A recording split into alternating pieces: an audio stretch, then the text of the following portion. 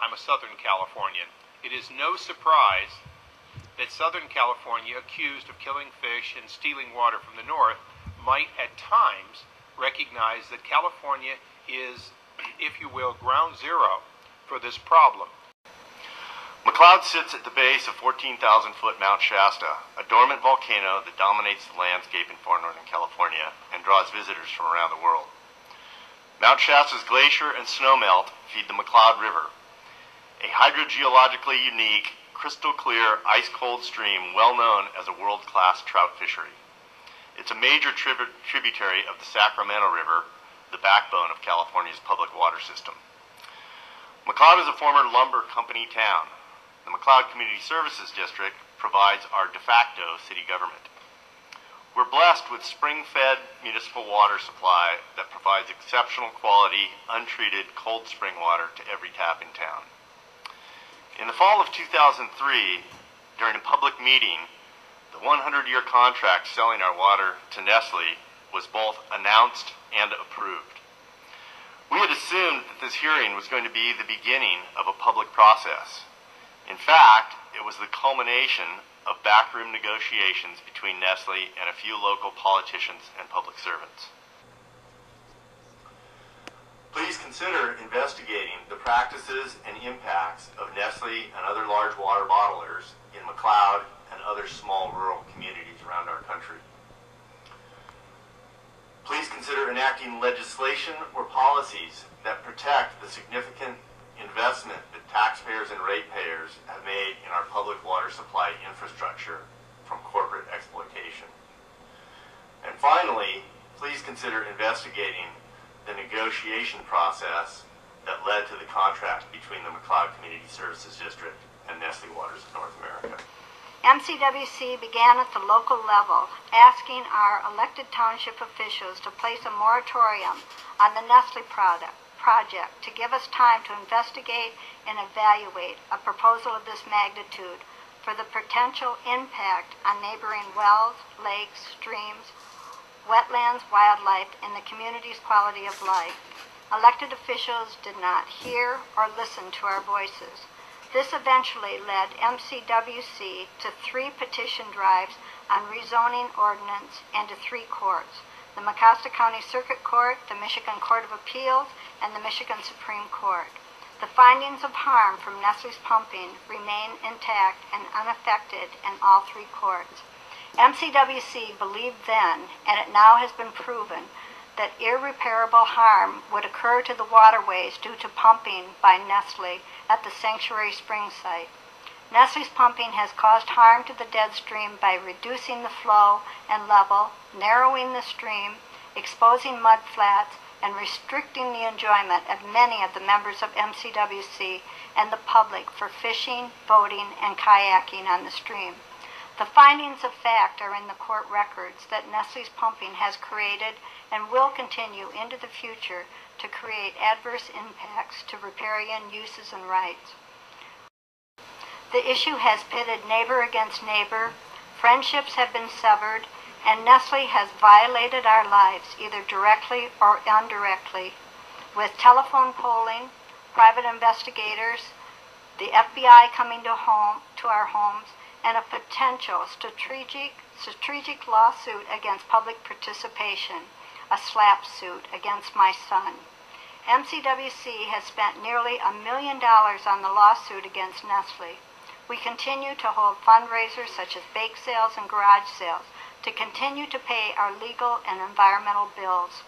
Barrington and Nottingham are located in the southeast portion of New Hampshire, equal distance from Concord and Portsmouth all of their households rely on private wells for all their potable water. There is no town water system. These communities, like Dover, are old. Uh, both were settled with around 1719 to 1722. They have a rural nature. They try to work hard to protect their citizens. A total of about 11,000 people live in the two communities. What happened in this instance was a failure by state government and federal agencies to protect the groundwater. This company uh, is, a, as I said, a privately held company whose business plan said they're going to bottle this water and ship it overseas. In other Does the company show an interest, Mr. McCann, in uh, being responsive to the community's concerns?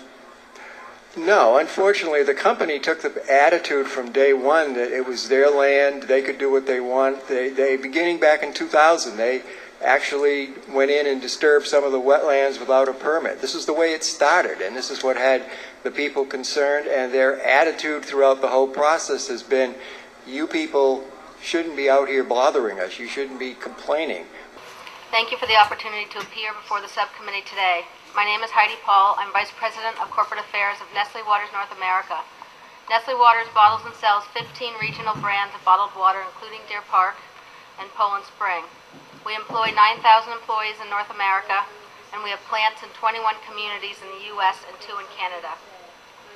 We have been invited today to testify about the environmental effects of bottled water on groundwater and our operations in communities. Bottled water represents 0.02% of groundwater used. As a company, our use is sensitive to the environment and very efficient. We bottle a very healthy beverage. Not including bottled water, there are close to 75,000 different types and sizes of containerized beverages for sale in America. Most have calories, coloring, chemicals, alcohol, or caffeine. And when it comes to collecting the, and bottling spring water, Nestle Waters has an inherent interest in being a steward of a healthy environment at our spring sites. Our spring sources and the facilities that use them represent our most valuable investment. And using springs in a responsible manner today is the only way to ensure our continued success. To uh, Ms. Paul, in your testimony, you represent yourself as a trustworthy steward of the environment, uh, absent a court order or other legal requirement. If local people in a community bring to your attention significant adverse environmental impacts from your pumping operations, such as low stream flows, would your company be willing to reduce or to stop pumping? We base all of our pumping decisions on the science that says um, what's a sustainable use. So if the science was showing it was not a sustainable use, yes, we would cut back. Okay. Uh, Well, if that is the case, and I take it as you say it, it's what you believe, uh, this subcommittee has been informed that your company continued to pump from its Stanwood plant in Michigan in the summer months this year, even when presented with photographic evidence that clearly show the flood, the flow levels in the stream-fed dead stream were dangerously low. We have a photo that was supplied to us by attorneys for MCWC that appears to show the dead stream living up to its name. Now, um, I'd like you to look at the picture there, which, uh, which represents the um, uh, low flow levels of the dead stream. We've also been informed that while Nestle's pumping may have been technically in compliance with a court order, this court order was only in place pending remand to a trial court after MCWC won its court case in order to determine, uh, determine safe pumping levels. This is what I know. A Okay. picture taken of dead stream and There are with low the flow flows and levels high low. flows of water bodies naturally occurring, and just because there's a low flow, That- So you- you're maintaining that this was a naturally occurring low flow, is that your position? my position is that there's no harm to the environment, that there are naturally higher and lower flows, that this is affected by dams built by beavers, by many things, that um, the mud flats, when they show, are a feature that has resulted from a dredging, a historic dredging, and it's the natural sediment coming back to replace the dredged amount, uh, the dredged uh, soils. Done, or are there other studies? Are there studies that are independent of your study? I know of no independent studies, but I'm happy to share our studies.